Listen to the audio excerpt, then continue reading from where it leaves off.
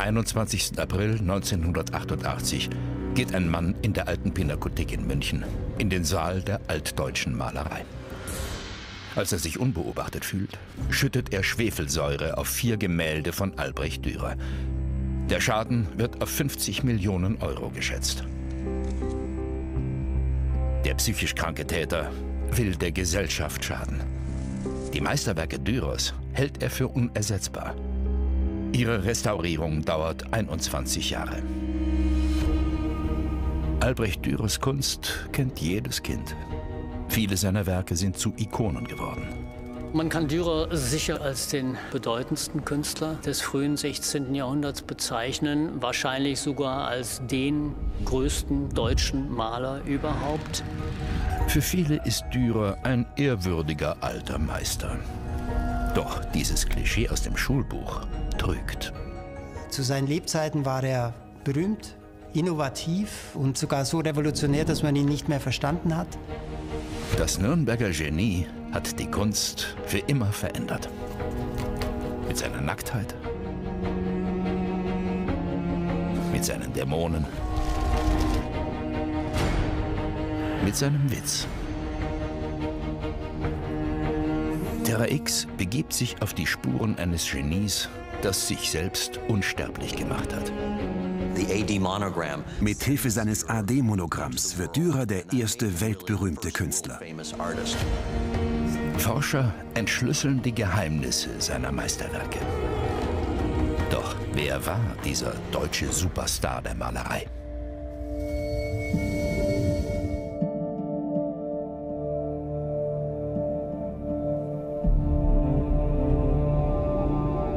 Ausgangspunkt der Spurensuche ist ein bahnbrechendes Gemälde.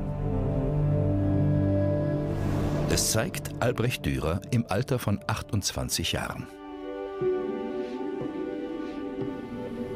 Heute hängt es in der alten Pinakothek in München.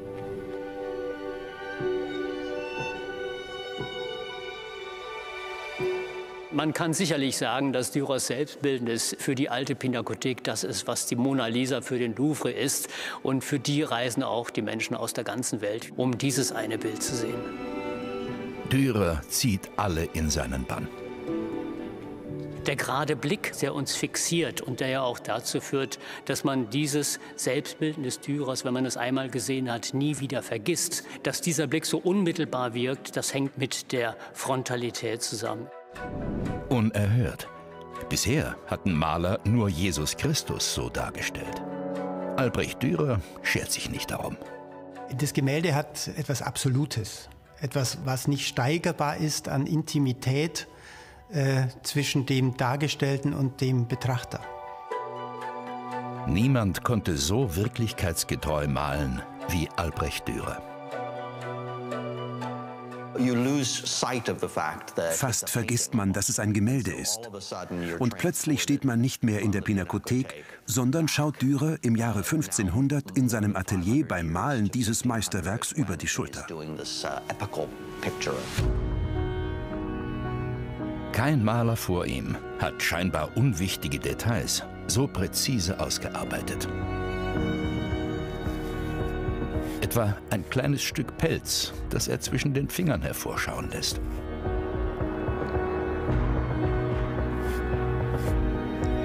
Der junge Maler will der Welt zeigen, was er kann und wer er sein möchte. Der Pelz auf dem Münchner Selbstbildnis signalisiert in eine Auftraggeberschaft hinein, ich bin in der Lage, eure kostbare Gewandung malerisch perfekt darzustellen. Vielleicht war das auch ein Grund für diese Überheblichkeit, sich im Pelz zu zeigen. Pelz durfte Dürer laut Kleiderordnung gar nicht tragen. Was soll's? Er liebte einfach den großen Auftritt. Dürer fiel auf mit diesen Locken und vor allem dann in Kombination mit dem Bart. Beides zusammen ähm, ging eigentlich gar nicht.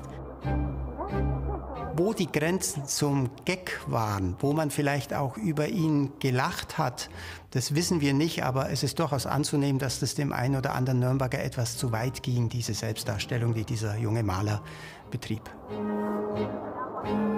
Albrecht will provozieren und sich von der Masse abheben. Er strebt nach Erfolg. Ich will hier ein kleines Licht anzünden, schreibt er in einem Brief. So mag mit der Zeit ein Feuer daraus geschürt werden, das durch die ganze Welt leuchtet. Albrecht Dürer ist der erste Maler, der sich nicht mehr als Handwerker sieht, sondern als schöpferischer Geist. Damit ist er der erste moderne Künstler. Die Zeitenwende zum 16. Jahrhundert ist eine der fruchtbarsten Epochen der europäischen Geschichte. Niemals hat der Mensch in so kurzer Zeit so viel neu erdacht, die Grenzen des bekannten Wissens gesprengt. Michelangelo schafft in Florenz Monumentales. Und Leonardo da Vinci macht sich mit der Mona Lisa unsterblich. Italien ist das Zentrum der Renaissance. Das starre Mittelalter klingt aus. Der Mensch steht jetzt im Mittelpunkt.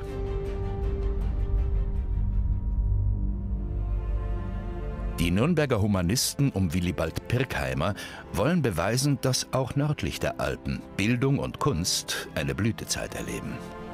Dafür brauchen sie, wie in Italien, passende Maler. Albrecht Dürer, neugierig und zu allem bereit, ist ihr Mann. Pirkheimer unterrichtet den kreativen Querkopf und wird zum lebenslangen Freund. Für Albrecht Dürers Eltern war Bildung noch ein schier unerreichbares Gut. Und eine Familie zu gründen, war mit Risiken verbunden. Nur drei von 18 Kindern, die Mutter Barbara zur Welt bringt, überleben.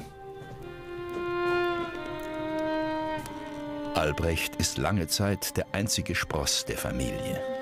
Das Geschwistersterben gehört zu seinem Alltag.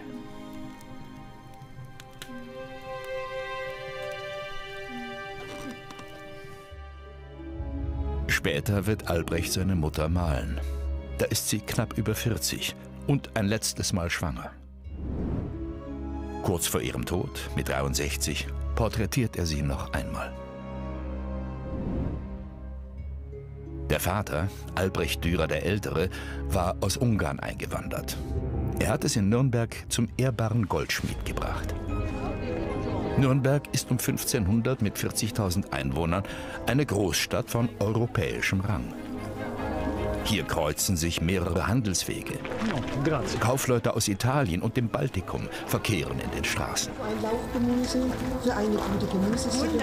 Wohlhabende Patrizier steuern die Geschicke der Stadt, deren Reichtum auf dem Fleiß und dem Können ihrer Handwerker beruht. Goldschmiede wie Albrecht Dürer Senior genießen hohes Ansehen.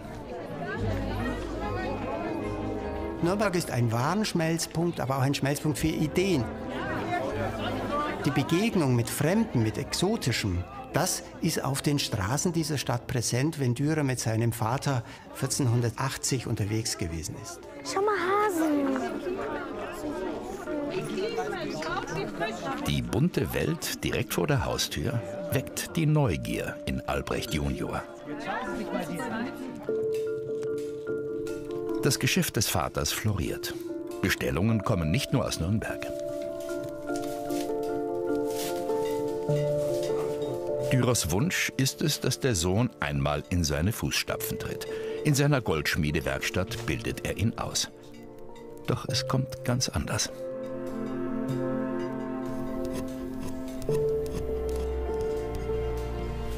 Albrecht? Albrecht, was machst du denn da schon wieder? Du sollst polieren. Ich male nur ein bisschen. Zeig mal her.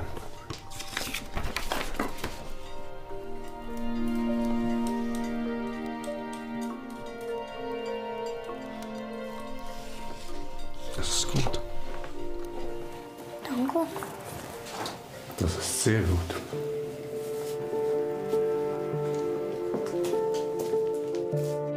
Bald lässt der Vater seinen Sohn ziehen. Albrecht darf eine Lehre als Maler beginnen. Seine Zeichnung ist nichts weniger als das erste Selbstbildnis eines Kindes in der Geschichte. Heute befindet sie sich im Museum Albertina in Wien, in der Obhut von Christoph Metzger. Mit dem Selbstbildnis als 13-Jähriger äh, fängt Dürer wirklich gleich mal mit einem Powerwerk an. Er wagt sich gleich an eine der schwierigsten Zeichentechniken überhaupt, die in der damaligen Zeit gepflegt wurden, die Silberstifttechnik. Es können eigentlich kaum Korrekturen gemacht werden. Es kann nicht radiert werden, man kann nicht retuschieren. Jeder Strich muss sitzen und jeder Strich sitzt hier auch. Ein Beweis eines sehr frühen, sehr hohen Talents. Die meisten Werke Dürers sind heute von unschätzbarem Wert. Sie werden, wie hier in Wien, in Hochsicherheitsbereichen aufbewahrt, unter idealen Bedingungen. Die Albertina besitzt die meisten Dürer-Werke weltweit. Darunter eines der berühmtesten Bilder der Welt.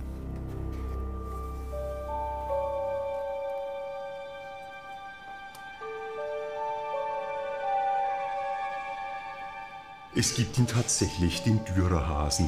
Hier haben wir ihn. Es ist ein unglaublich empfindliches Stück auf Papier. Die Farben, die Pigmente sind nicht sehr lichtstark. Äh, und das ganze Objekt würde, wenn wir es permanent zeigen würden, sehr schnell altern und irgendwann dem Untergang entgegengehen. Der Originalhase wird daher fast nie der Öffentlichkeit gezeigt. Dürer hat den Hasen aus seiner natürlichen Umgebung genommen. Wie auf dem Seziertisch liegt er vor dem Betrachter. So hat niemand zuvor ein Tier gemalt. Sein Atelier wird zum Labor. Dessen Fenster macht er in der Spiegelung des Auges sichtbar. Jedes einzelne Barthaar ist von einer feinen weißen Linie begleitet, eine haarfeine weiße Linie, um wirklich den Glanz und die Materialität uns glaubhaft und anschaulich zu machen. Bald wird die Konkurrenz aus Italien auf das junge Genie mit der herausragenden Begabung aufmerksam. Es gibt schon zu Lebzeiten eine Anekdote von Albrecht Dürers Aufenthalt in Venedig. Dort kommt Giovanni Bellini zu ihm ins Atelier und bittet ihn um den Pinsel, den er verwendet, um so detailgetreu Pelz und Haar darstellen zu können. Dürer nimmt sein ganzes Angebot an Pinseln, vom kleinsten bis zum breitesten, äh, präsentiert sie Giovanni Bellini und, sag, und sagt zu ihm, nimm dir welchen du willst, ich kann's mit jedem. Bei Dürer mischt sich außergewöhnliches Talent mit großem Selbstbewusstsein. Er weiß, dass er das Zeug dazu hat, in die Liga der ganz Großen aufzusteigen. Ich glaube, der Hase gehört wirklich mit Mona Lisa und solchen Werken zu jenen, die weltweit die bekanntesten Kunstwerke und Artefakte aus der Vergangenheit überhaupt sind. In die gleiche Kategorie fallen die betenden Hände. Was Dürer nur als Detailstudie für ein großes Altarbild diente, ist heute auf der ganzen Welt bekannt. Die Hände sind zu einem der am meisten reproduzierten Motive aller Zeiten geworden und zum Kitsch-Symbol. Auf unseren Friedhöfen sind die betenden Hände auf jedem vierten, fünften Grabstein drauf. Aber die Facettenhaftigkeit und damit in gewisser Hinsicht doch auch die Wirkkraft dieser Werke, die ist schon phänomenal. Selbst auf dem Grab von Andy Warhol finden sich die unsterblichen Hände. Und zwar typisch Warhol, seitenverkehrt. Der Guru der Pop-Art galt als Meister der Eigenvermarktung. Seine Selbstbildnisse verhehlen nicht, wer offenbar sein Vorbild war. Albrecht Dürer.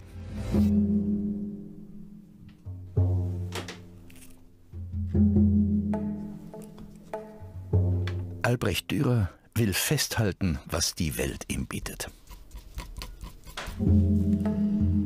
auch wenn er dafür die Grenzen des Erlaubten überschreiten muss. Die Hand, könntest du die hier hinhalten ungefähr?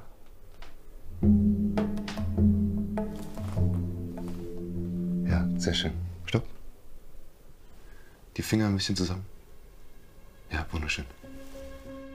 Die sogenannte Badefrau gilt als das allererste nach einem lebenden Modell gezeichnete Aktporträt. Nacktheit wurde bis dato nur bei religiösen Motiven wie Adam und Eva geduldet. Dürer ist das egal. Im Männerbad tritt er selbst mit auf, als potenter Spaßvogel. Wenn wir uns den Wasserhahn anschauen, der das eigentlich in der Unterhose verborgene Geschlecht ähm, wieder ähm, ansichtig macht, dann ist da durchaus Dürers Humor zu sehen, der da durchblitzt. Christine Demele hat in Weimar ein Selbstbildnis Albrecht Dürers erforscht, das nicht öffentlich zugänglich ist. Der Maler zeigt sich darauf, wie Gott ihn schuf. Was mich an der Zeichnung fasziniert, ist tatsächlich dieses Geheimnisvolle, was sie ausstrahlt, dass Dürer uns hier einen ganz intimen Einblick gibt. Und er hat sich jetzt seinen eigenen Körper eigentlich als Studienobjekt auserkoren und zeichnet minutiös, was er sieht. Auffällig ist der unterschiedliche Detailgrad der Zeichnung. Dürer skizziert seinen Kopf nur mit wenigen Strichen. Wenn wir den Blick weiter nach unten wenden, sehen wir, dass das Geschlechtsorgan sehr detailliert ausformuliert ist. Die einzelnen Schamhaare ähm, sind minutiös dargestellt.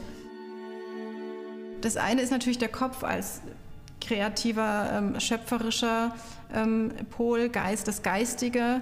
Und auf der anderen Seite wohnt ja auch in dem Genital eine Schöpferkraft, ja, eine natürliche Schöpferkraft. Und so haben wir also Schöpferkraft auf verschiedenen Ebenen.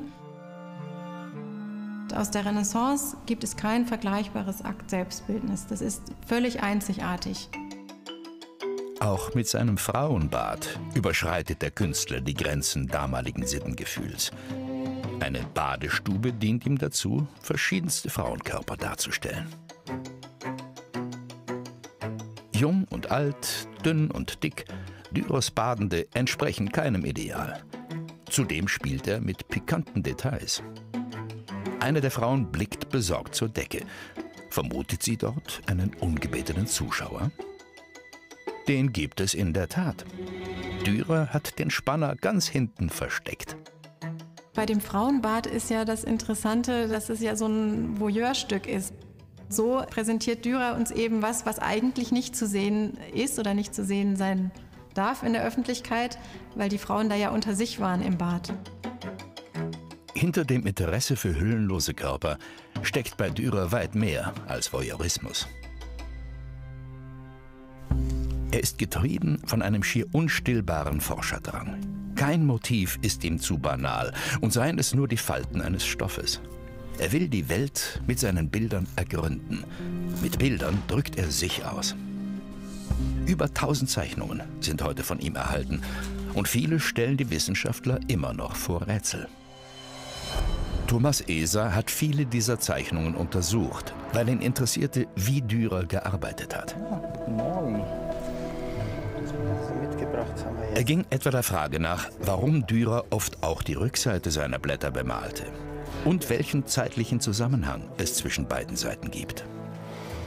Die auf beiden Seiten Zeichnungen tragen. Oliver Hahn von der Bundesanstalt für Materialforschung in Berlin unterstützt ihn dabei.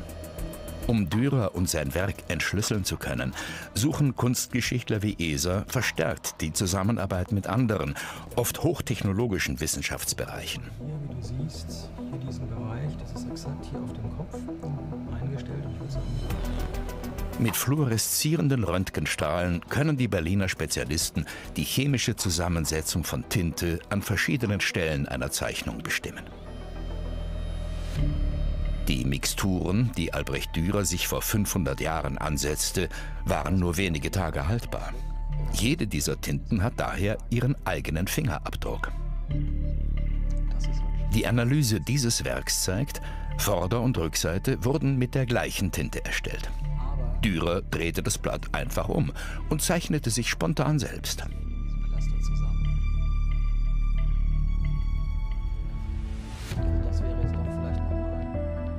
Bei dieser Zeichnung zeigen die Messungen, dass Dürer mehrere Tinten verwendet haben muss. Das hieß ja aber, dass er da ja, länger dran arbeitet, offensichtlich. Der experimentiert herum sozusagen. Auch in diesem Fall hat Dürer beide Seiten benutzt. Immer wieder wurde versucht, einen Zusammenhang zwischen den Zeichnungen herzustellen. Die Analyse der Rückseite offenbart, Du hast eben ganz unterschiedliche ähm, Werte und du siehst also hier, das ist der, die, die Kupferkonzentration, also Kalium, Mangan, Kupfer, Zink, Blei und die haut einfach raus. Das ist eine andere Tinte. Und das heißt, Dürer hat solche Blätter als Arbeitsmaterial in der Schublade liegen. Papier ist teuer, eine leere Blattseite ist was wert. Ja. Und erst Jahre später nimmt man es wieder zur Hand und zeichnet was ganz anderes drauf. Die beiden Seiten haben dann gar nichts miteinander zu tun. Ja, genau. Die wissenschaftliche Spurensuche gibt Einblick in Dürers Charakter. Selbst einfache Skizzen hat er mehrmals überarbeitet. Man möchte ihm gern immer im Atelier über die Schulter schauen. Man ist ihm auch wahrscheinlich nirgends so nahe als beim Zeichnen, weil das ist etwas sehr Intimes. Und da liefern uns die technischen Daten eigentlich sehr viele neue Argumente, dass Dürer sich nicht hinsetzte und genieartig die Dinge runterzeichnete und dann sein AD drunter setzte, sondern dass er mit einer produktiven Unzufriedenheit gearbeitet hat. Hier ist ein Perfektionist am Werk, der viel Fleiß investiert, um es ganz nach oben zu schaffen. Harvard University, Cambridge, USA. Der Amerikaner Joseph Körner ist einer der führenden Experten für Renaissancekunst. Wenn er hier Erstsemester aus der ganzen Welt unterrichtet, steht Albrecht Dürer ganz oben auf dem Lehrplan. Vor allem, weil der Nürnberger eine künstlerische Technik zur absoluten Meisterschaft trieb, die vor 500 Jahren noch relativ neu war. Die Druckgrafik. Dürers Kupferstiche und Holzschnitte sind bis heute unerreicht. Zum Beispiel die vier apokalyptischen Reiter. Dürers Thema, der Weltuntergang. Nah am Zeitgeist landet er einen Hit. Großes Kino.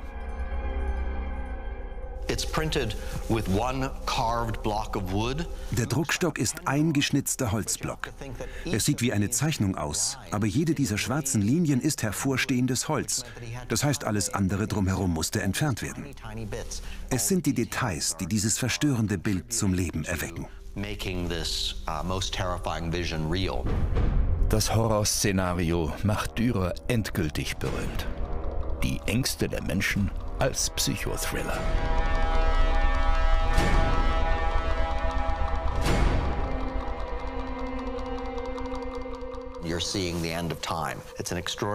Wir sehen das Ende der Welt. Mit dem Holzschnitt gelang es ihm als erstem, den Weltuntergang bildlich begreifbar zu machen. Uh, Dürer ist der erste Künstler, der auch für die Masse produziert. Die Drucke seines Rhinoceros sind eine Sensation. Der Detailreichtum verblüfft die Betrachter. Und das, obwohl Dürer das exotische Tier nur aus Erzählungen kannte. Schätzungsweise 4500 Exemplare verkaufte er davon. Printing multiplies an artist's work mit der Drucktechnik kann ein Künstler seine Werke tausendfach vervielfältigen. Was er erschafft, gelangt so zu Kunden quer durch Europa und sogar darüber hinaus. Den Vertrieb der Druckgrafiken übernimmt Dürers Frau Agnes, die für ihn die Geschäfte führt. Die Dürers engagierten Handelsvertreter, die auf Messen und Märkten in ganz Europa unterwegs waren. Bitte mit Vorsicht behandeln. Geben Sie gut darauf Acht. Dann gute Reise. So wurden die Grafiken zur Haupteinnahme des Familienunternehmens. Nicht mehr die Aufträge von Adligen und Kirche. Serienkunst in Massenproduktion. Dürer ist der Andy Warhol der Renaissance. Und wie Alfred Hitchcock seine Filme, nutzt Nürnbergs Malergenie auch sein Werk immer wieder bewusst für Selbstauftritte. Zum Beispiel in einem Altarbild, das er für die deutschen Kaufleute in Venedig malt. Um eine Madonna mit Kind platziert er Papst und Kaiser, sodass eine Pyramide aus prächtigen Gewändern entsteht. Hinten rechts zeigt sich der Maler höchstpersönlich. Auf dem Zettel verkündet er stolz, in nur fünf Monaten habe ich, der deutsche Albrecht Dürer, dies 1506 geschaffen.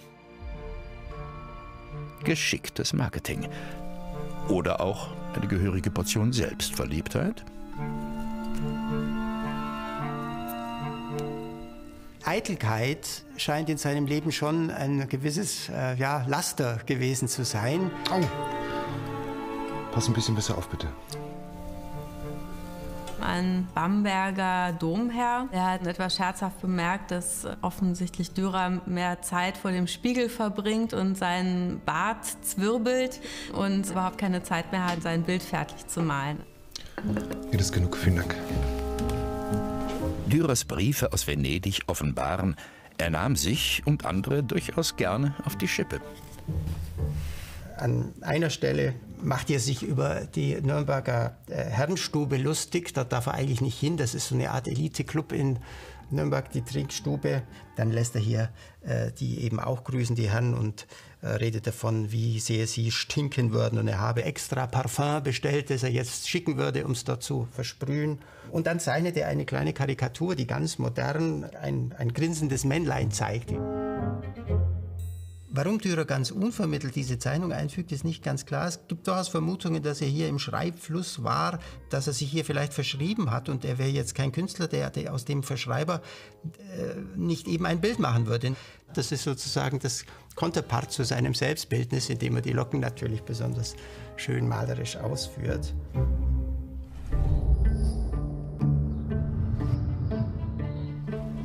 Über die Beziehung von Dürer zu seiner Frau ist viel spekuliert worden. Die Ehe wurde, wie damals oft üblich, arrangiert. Da Agnes aus besseren Verhältnissen stammte, beschleunigte die Heirat Dürers Aufstieg in Nürnberg. Aus der Ehe gingen keine Kinder hervor. Jetzt die Hände aufhalten? Die schenke ich dir. Der mit deinen Späßen. Da Kinderreichtum als göttlicher Segen empfunden wurde, musste fehlender Nachwuchs für ein Ehepaar eine große Belastung darstellen. Diese frühe Zeichnung stammt aus dem Jahr der Hochzeit. Der junge Ehemann betitelt sie nicht ohne Stolz Mein Agnes. Obwohl ganz einfach gestaltet, ist sie eines der anrührendsten Bildnisse, die Dürer geschaffen hat.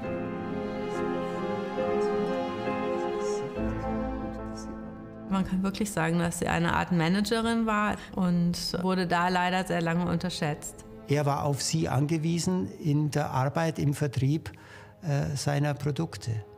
Weil seine Agnes ihm ein Leben lang den Rücken frei hält und sich um das Geschäft kümmert, kann Albrecht sich auf die Kunst konzentrieren.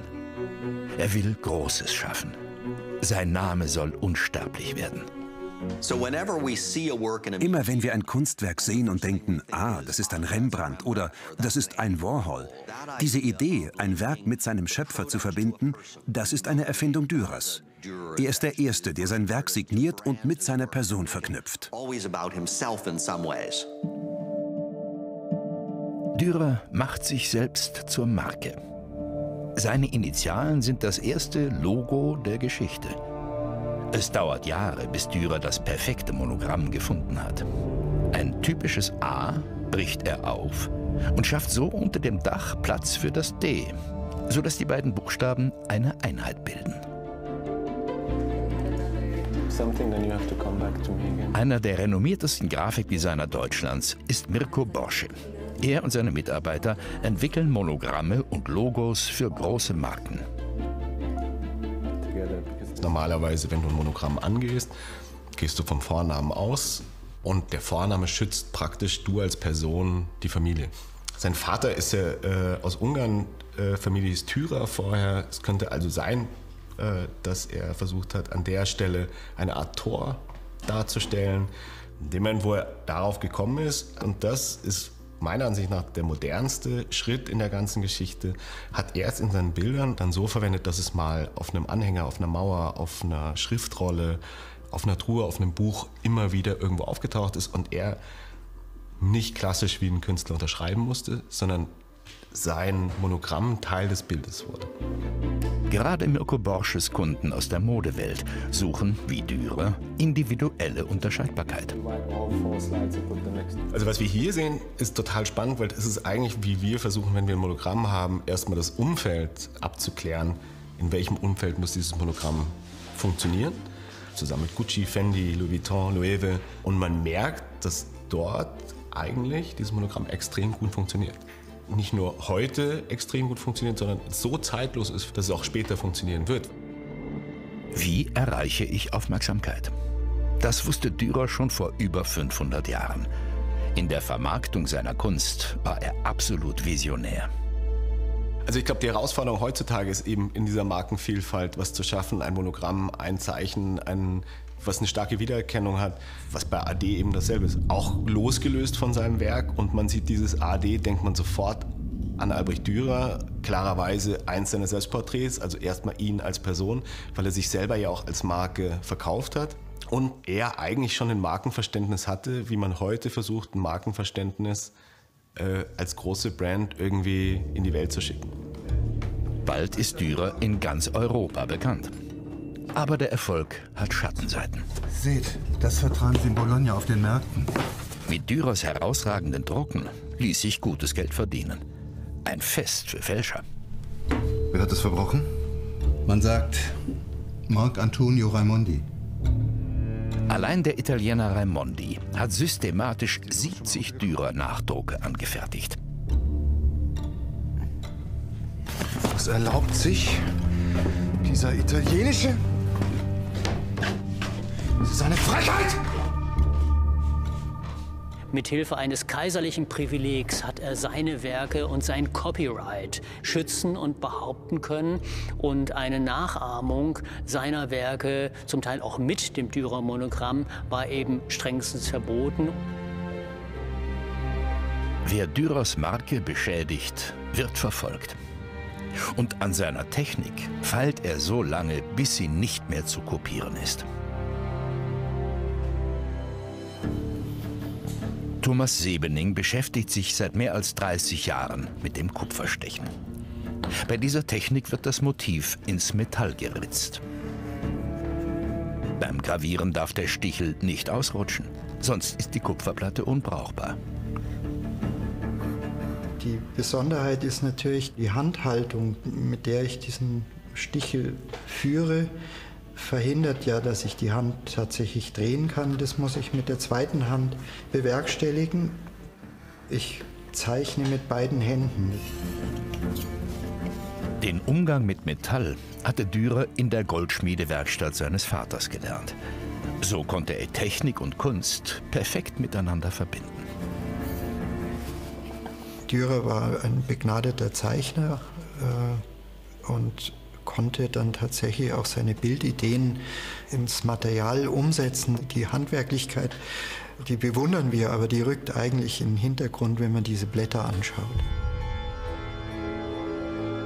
Für die Zeitgenossen Dürers dürfte so ein Meisterstich wie Ritter, Tod und Teufel eine unglaubliche Faszination ausgeübt haben. Das wirkt absolut realistisch, weil es eben so dreidimensional rüberkam. Die Farbe in den Kerben des Metalls wird mit tonnenschwerem Druck aufs Papier gepresst. So können Kupferstecher seit jeher feinste Linien erzeugen. Sie sind, wie man heute noch sagt, gestochen scharf.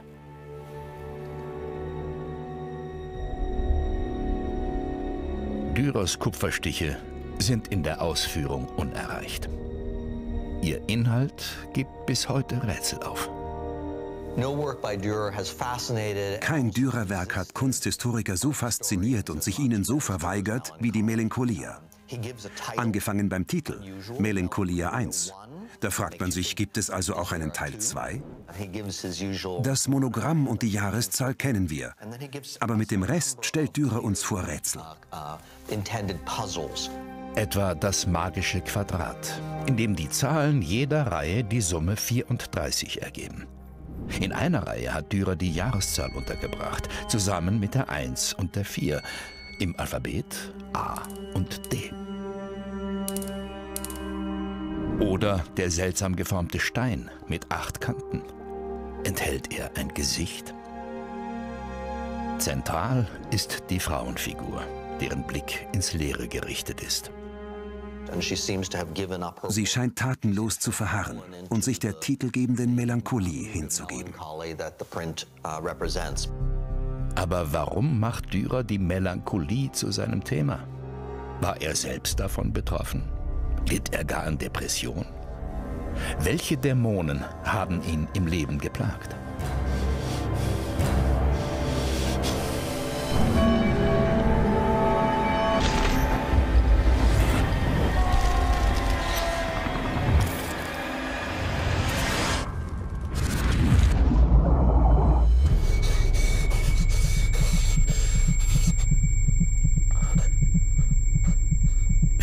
Moderne Künstler blicken in ihre Abgründe, um Kunst zu schaffen. Dürer ist der Erste, der es tut.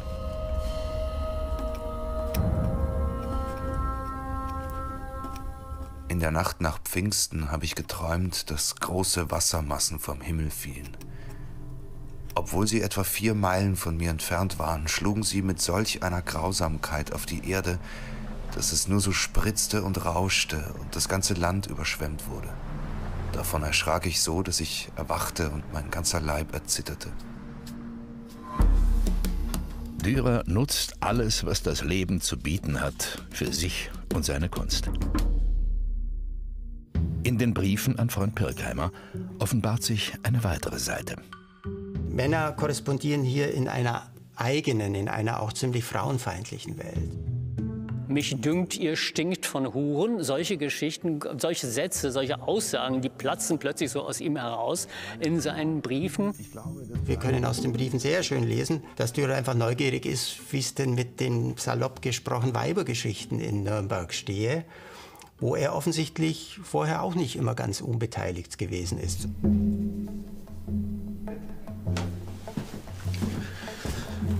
Darf ich kurz? Die Finger ganz entspannt. Ja. Sehr schön. Schön so bleiben. Der Künstler Dürer will den menschlichen Körper in seiner Gänze verstehen. Eine liegende Nackte hat die Forscher auf eine verblüffende Spur gebracht. Wenn man sich das Blatt genauer anschaut, wenn man wirklich sehr nah hingeht, dann sieht man einen Zirkeleinstich, man sieht unterschiedliche Linien, die im rechten Winkel zueinander stehen, die Achsen folgen, beispielsweise durch den Bauchnabel. Dürer möchte den nackten Leib nun auf mathematischer Grundlage entwerfen. Denn anatomisches Wissen, wie viele Maler seiner Zeit, besaß er nicht.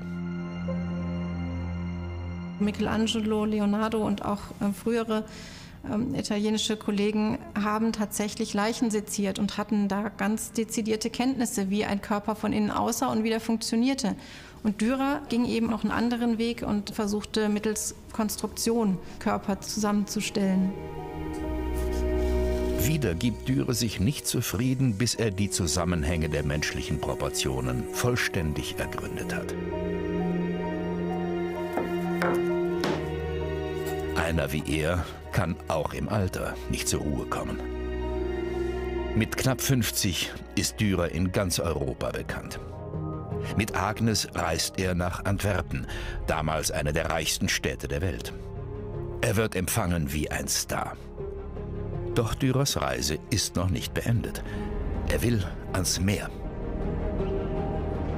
Im Dezember 1520 hört er von einem Wal, der an der holländischen Küste gestrandet sei. Dürer lässt alles stehen und liegen und versucht so schnell wie möglich dorthin zu gelangen. Doch zunächst will ihn niemand mitnehmen. Da draußen liegt ein Wal und es ist wirklich wichtig, dass ich an diesem Ereignis teilnehme. Was soll es kosten? Ja, kommen Sie mit. Vielen Dank. Mit einem Nürnberger Begleiter gelangt Dürer an Bord eines kleinen Frachtschiffes. Die Einträge in seinem Tagebuch erzählen von großer Kälte, auch Hunger und Durst.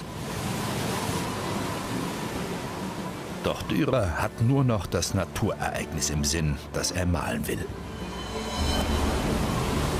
Ein aufziehender Sturm macht das Unternehmen zum lebensgefährlichen Abenteuer. Beim Anlegen spült eine Welle das Schiff wieder hinaus aufs Meer. An Bord sind nur noch zwei alte Frauen, ein Kind und der überforderte Kapitän. Was soll ich tun? Das Segel spann! Mit vereinten Kräften gelingt es, das Schiff wieder sicher in den Hafen zu bringen. Doch Dürers Anstrengungen werden nicht belohnt. Die Strömung hat das riesige Tier schon wieder ins Meer gespült. Und der Maler bezahlt seine Wissbegierde mit einem hohen Preis.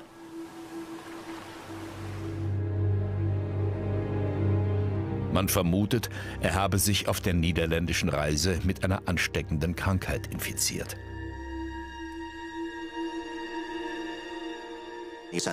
Dürer schickt seinem Arzt eine Zeichnung, deutet auf eine farbige Stelle und schreibt, da wo die gelbe Fleck ist oder something like that, da tut es mir weh. Deutet Dürer auf eine geschädigte Milz? Nicht selten ist sie das Anzeichen einer Malariaerkrankung. Fest steht, bis zu seinem Tod wird er immer wieder von Fieber, Ohnmachtsanfällen und Kopfschmerzen geplagt. An Ostern 1528, mit 57 Jahren, abgezehrt und entkräftet, stirbt Albrecht Dürer in Nürnberg. Und hat sich schon zu diesem Zeitpunkt unsterblich gemacht. Heute ist er allgegenwärtig.